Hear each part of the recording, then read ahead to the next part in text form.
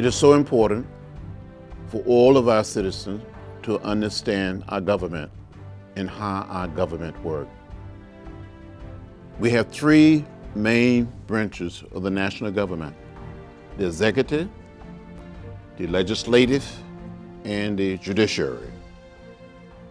I happen to be one of 435 members of the House of Representatives. We have 100 senators. The American people elect us. A senator can serve for six years, elected to serve six years. A member of the House is elected for two years. I can never forget, preparing for the March on Washington, I had an opportunity to go and visit the halls of Congress. We have a right to petition our government, to petition members of the Congress, to write letters, to make telephone calls. In this day and age, you can do so many other things with the new technology. You, you can send a message, you can email, but the most powerful thing you can do is to vote and speak up and speak out. We have a right to know what is in the food we eat. We have a right to know what is in the water we drink. We have a right to know what is in the air we breathe. So through our ability to lobby, ability to get in the way, we can change things. And members answer their mail, answer their telephone calls. When you see someone that is not doing what you think is right, or speaking up or speaking out, saying what need to be said, you can remind them that you have the power to give it and you have the power to take it away. Thank you very much.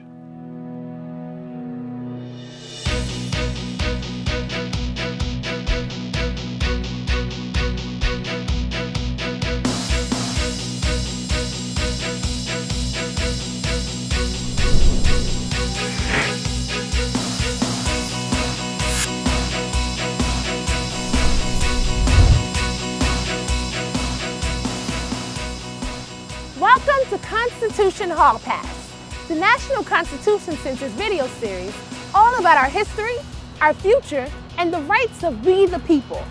I'm Danielle Lene, here at the National Constitution Center. We're celebrating a very special holiday, Constitution Day. Here in Philadelphia, on September 17, 1787, the United States Constitution was signed, and we're going to celebrate that signing in style. Today we're going to explore one of the three branches of government. I'll give you a few clues and let's see if you can guess which branch will be today's topic. It's the first branch to be described in the Constitution. The Founding Fathers wrote more about it in the Constitution than any other part of the government, and its primary job is to make laws. So, is it the executive branch, the legislative branch, or the judicial branch? If you answered the legislative branch, you're right. The legislative branch, also known as Congress, is outlined in the first article to be written after those famous opening words of the Constitution We the people. Let's start with some basic facts on Congress. It's made up of two houses the House of Representatives and the Senate. The primary function of these two houses, working together, is to make laws. That job is spelled out by the Founding Fathers in Article 1 of the Constitution. It sounds like a simple job, but it's not really that straightforward. It's not so easy to make laws. A new law might make one group of people happy while making another group pretty upset. Today we're going to explore the role of the legislative branch. We'll see what the Constitution says and look at how Congress's role has played out since the Constitution was written. We'll also see how we, the people, play a role in lawmaking and how you can make sure that your voice is heard. So let's jump in by visiting the site where it all happens today, the United States Capitol. There we can get a direct look at Article 1 and see how a law is made.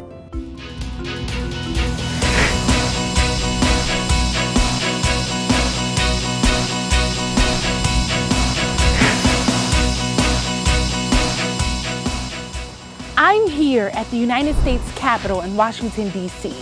From the laying of its cornerstone by George Washington on September 18, 1793, through remodeling, renovation, and even reconstruction after its burning in the War of 1812, the Capitol is a symbol of the power of we the people. It holds the members of Congress that we elect to represent us in government. Congress has a lot to do. Here's a list of jobs. Which ones are Congress responsible for doing?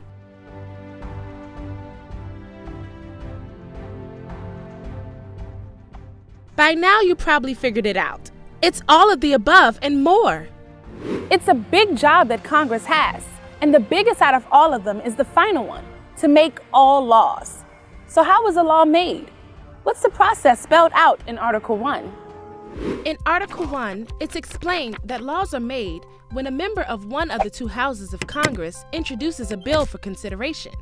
The bill is discussed in a subcommittee, then a regular committee, then by the entire House. The same process has to take place in the other House.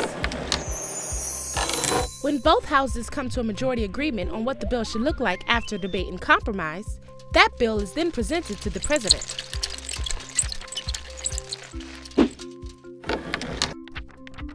As long as the president approves what they've given him, the bill then becomes a law. Seems like a straightforward enough process. But as we'll see, there's a lot more to it than just that. Congress is responsible for making laws for the entire country. That's a big job, and a tough one too. People don't always agree on things, and sometimes states see things very differently. Each member of Congress is responsible for representing the wants and needs of their constituents. So in a country with almost 314 million people and 50 states, how does Congress ever agree on anything? Say you're a member of Congress. If some of your constituents support one law while others support a different one, how can you find a way to represent everyone fairly? What happens when it is not just a battle within one state, but between two or a few states? The founders set up a structure to give direct representation to we the people and to manage conflict between and among states.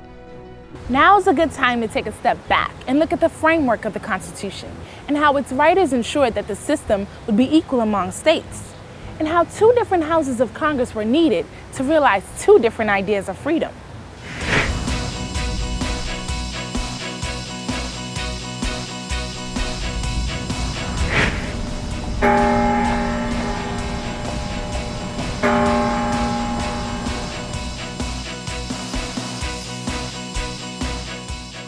To begin, we've come here, to where it all started.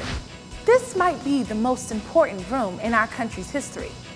Right here in the Assembly Room at Independence Hall, the Continental Congress signed the Declaration of Independence. And 11 years later, here in the exact same room, the Constitutional Convention created the supreme law of the land, the Constitution of the United States. Now, the Articles of Confederation, our governing document before the Constitution, created a weak central government that couldn't do things like raise an army, levy taxes, or mint coins.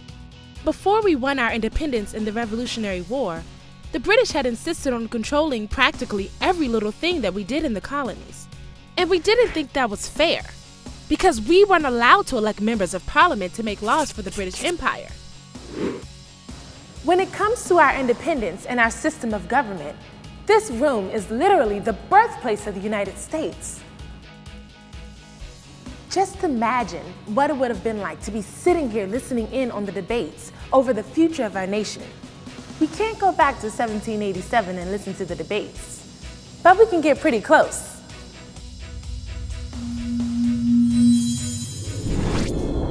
When we come here to Signers Hall, where we have 42 life-size statues showing you the moments of the signing of the Constitution. As you stand in Signers Hall, you can imagine yourself being right there with the delegates as they hammered out the compromises that would go into the supreme law of the land. The delegates to the Constitutional Convention would have to find a compromise between the two extremes and create a system that would give the young nation the lawmaking apparatus it needed to survive. And James Madison knew that and he came prepared with a plan to find that compromise. James Madison came from the upper class of Virginia society. He was a really smart guy, a guy who had served in the government at a few different levels and read about systems of government all around the world. He was committed to finding a way to balance the needs of the government with the rights of the people. Just listen to how he described finding the compromise. If men were angels, no government would be necessary. If angels were to govern men, no controls on government would be necessary. In framing a government, which is to be administered by men over men, the great difficulty lies in this. You must first enable the government to control the governed, and in the next place, oblige it to control itself. Madison thought he had worked out a way to make sure that the government could effectively run the country while still not growing so big that it would oppress the citizens. After spending a ton of time working on ideas at Montpelier, his home in Virginia, he was ready to bring his vision to the convention. But he didn't really like speaking in front of big audiences, and he thought that his proposal for a new government should come from someone with a little more political clout. Edmund Randolph was the governor of Virginia, and he seemed like the perfect candidate to introduce the new plan. He worked with Madison and his other fellow Virginians to fine tune the wording, then made his case. And so, written by James Madison and proposed by Edmund Randolph. The Virginia Plan was based on the Constitution of Virginia itself. It called for a legislature with two houses, both of which would be based on population. The more people that lived in a state, the more people they'd have in the legislature. The people of each state would elect the members of the lower house. Those members would then elect the members of the upper house. This legislature would be responsible for choosing the national executive and judiciary. Any laws established by the national legislature would be superior to those passed by the individual states. And all office holders would have to swear an oath of allegiance to the national government. In this plan, bigger states like Pennsylvania, New York, and you guessed it, Virginia, would always be able to outvote the smaller states like Delaware and Connecticut. The larger states would be the ones holding all the cards, and the small states were concerned that their voices wouldn't be heard. Worried that the Virginia plan was the beginning of the end of their state's individuality, the delegates of the smaller states rallied behind a plan proposed by an Irishman representing New Jersey. William Paterson's proposal, like Madison, was named after his home state, and the New Jersey plan shows a very different idea of what our government could have looked like. The New Jersey plan looked pretty different from the Virginia plan. It called for a legislature with just one house, in which each state would get just one vote. The only things that the new national government would be allowed to do would be regulating trade, taxing foreign goods, and raising a military from the states. The plan included a national executive to be elected by the people, but they'd only get one three year term in office and could be recalled by a vote of the state governors.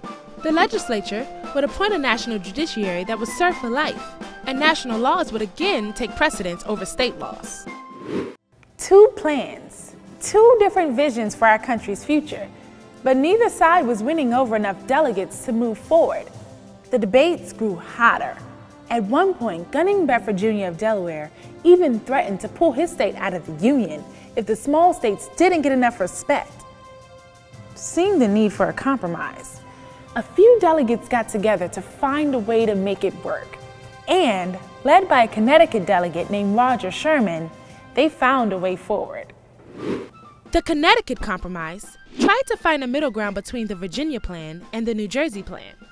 Rather than have representation based either on population alone or states alone, it called for a legislature with two houses, one with equal representation for all states, and one where the bigger states got more representatives. It wasn't accepted right away, but once the delegates had settled on the Connecticut Compromise, the path to our new national government became clear. This new plan would be both fair to the people and equal among the states.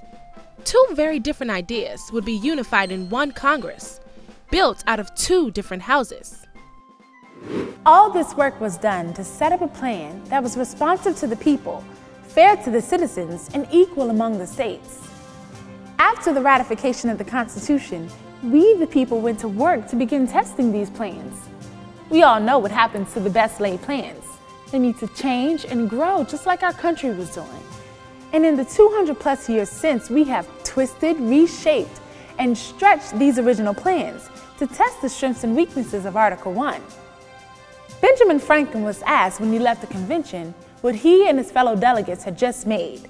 His well known response, a republic, if you can keep it, shows that it's up to the everyday citizens to put the plans of the Constitution into action. So, how does the lawmaking process work today? Let's look at a new type of law that may very soon be fought about in the federal system.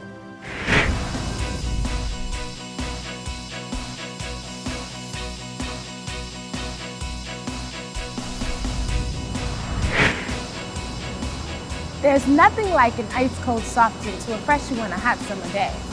But we know that those beverages can have very high sugar contents, which can lead to obesity, diabetes, heart disease, and some kinds of cancer. To address the health risks that come from sodas and other sweet drinks, laws have been proposed in various cities and states across the country to limit people's access to soft drinks. In some places, like Vermont and California, taxes have been proposed. Here in New York City, the mayor proposed banning restaurants, movie theaters, sports stadiums, and food carts from selling any sugary drink above 16 fluid ounces in size. Let's start by looking at the two sides of the issue. Here at Federal Hall, which was once Congress's home. Preserving people's health is a noble goal, and not just for keeping individuals healthy. Higher rates of disease caused by poor diets mean that everyone, not just those who get sick, have to pay more money for health insurance premiums. They also mean that the government has to spend more of its money on programs like Medicare and Medicaid. On the other hand, drinking soda is a personal choice, and it could be a very slippery slope when the government gets involved in regulating those kinds of choices. Laws restricting soda sales can also have a damaging effect on businesses that serve the drinks, as they might have to spend a lot of money conforming to new standards, or else lose customers as people stop buying their products. So, how's it all going to work out? On one side, you'll have public health experts who will support a law on sugary drinks to keep people healthy. Be allied with the companies that provide health care and medical insurance, who are trying to keep costs down to keep their customers happy, exercising their economic freedom in the process. And joining them will be the parents and other citizens who are worried about the health impact of soda. On the other side, the companies that make the sugary drinks will be strongly opposed to the law it limits their economic freedom by hampering their ability to sell their products. Restaurant owners and beverage suppliers will also fight the law, since their industries will be affected. And private citizens who feel like the bill limits their individual right to make their own choices will also resist the law's passing.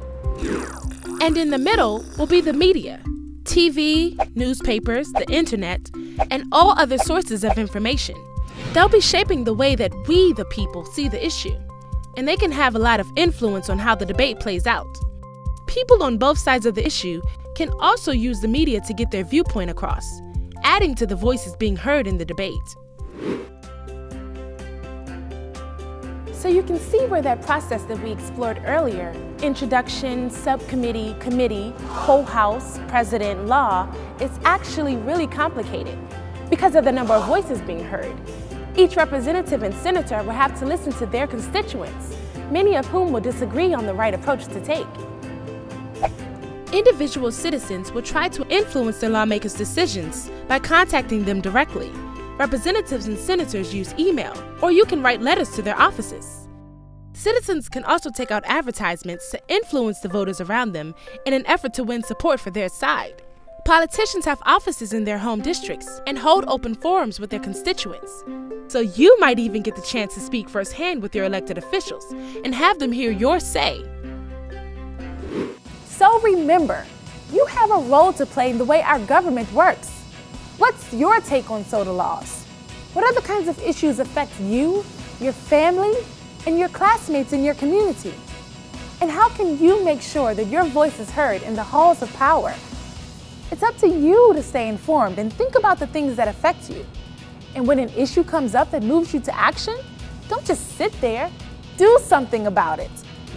Contact your elected officials, start discussions at home and in the classroom, or post your thoughts on Facebook or Twitter. When you use your rights as a citizen, you're helping to shape the country you live in. and helping us all live up to the ideal of a more perfect union. I hope you enjoyed learning about the legislative branch on this episode of Constitution Hall Pass. From the National Constitution Center in Philadelphia, I'm Danielle Lene. See you next time on Constitution Hall Pass.